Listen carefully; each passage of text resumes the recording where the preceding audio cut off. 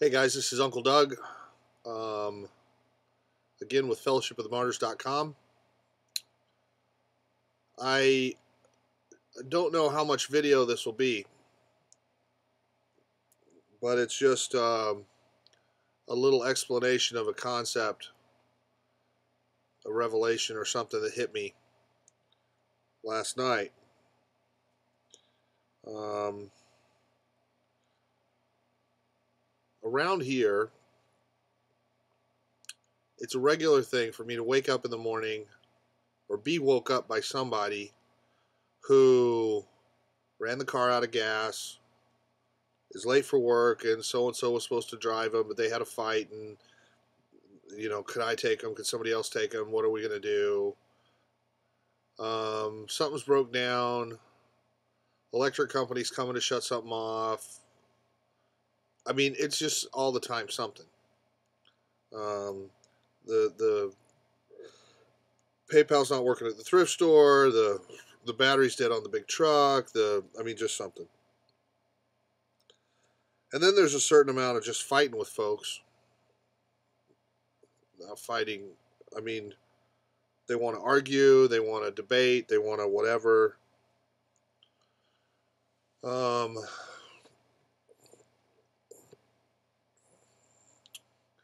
and I begin to understand how people tithe to Satan. And a tithe typically has been defined to mean a tenth, but uh, biblically speaking, in Malachi, when it talks about bringing your tithes and offerings, um, when you add up all the different offerings, all the different stuff that the the Israelites were supposed to do, it's closer to 30% of their revenue income. Of course, some of that they have a party where they're supposed to bring 10% and spend it on themselves and have a party and just rejoice with the Lord. So it's not really give it to the give it to the pastor so he can buy a Bentley. Anyway, um,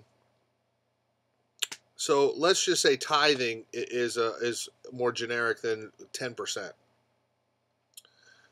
but there are all kinds of ways that we offer offerings, sacrificial gifts, whatever. I'm going to wipe this camera. I think I got some kind of thing there. I don't know if that's any better. I don't know what I have to wipe it with either. Oh, try a sock here. Well, that's less something there. Okay, sorry about that. um, uh, look at that. It's not going where it's supposed to go either. Let's just say that Satan wants you to offer your praise, your worship, your attention, your money to him. And he's going to do everything he can to make sure that if you don't knowingly do it, if you don't willingly do it, he's going to steal it. And I would like you to consider when you get to the end of your day, how much time did you spend fighting with your wife, arguing about nonsense with coworkers, defending your sports team, watching stupid, useless stuff on TV, playing video games that doesn't edify, doesn't do anything, and may grieve God, um, spending money at bars, spending money on weed, spending money on other drugs, just generally chasing the wind. And how much that's an offering to Satan. Now, I understand that there are times we need to unwind de stress, let our brains do something other than the, the work that we do every day. And we want to go fishing or play a video game or you know, say hi to your friends on Facebook or whatever. But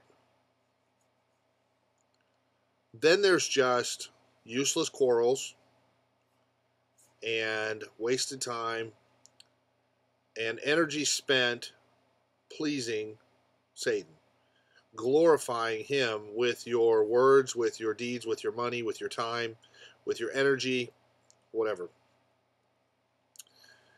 And I'm starting to find and see how in my life, although I'm not trying to offer sacrifices to Satan, I'm not trying to willfully give him a percentage of my life.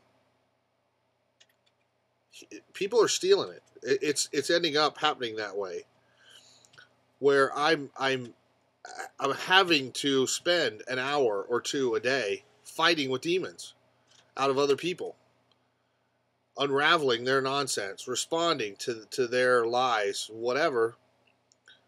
And it's one thing to be a hospital and to be a doctor and to deal with the sick people, and it's another thing to be just caught up in useless quarrels. And I try really, really hard not to do that.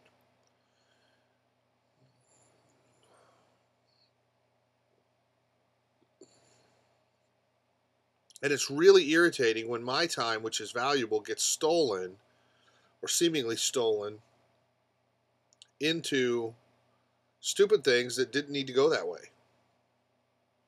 And I'm not sure how anybody was edified. Maybe you could say it's training, it's warfare, people are growing, they're learning more, and whatever. But in a lot of ways, I think sometimes I, I just see something go for a couple of hours nonstop, then some switch is flipped. We reach 10%, met your quota, it's all good now. And it lets up. And I've begun to think, to, to really uh, think about how much Satan is trying to extract from us an offering to him of our energy and our time which damages our witness and our testimony, keeps us from ministering to other people, and keeps us from accomplishing the things that God wants us to accomplish because we're busy uh, fixing all the broken things that uh, Satan broke so that it would slow us down, wear us out. Anyway, take a look at your life. Comment down here. Let me know if uh, you don't think maybe some of that same stuff's happening to you. Thanks. In the name of Jesus, amen.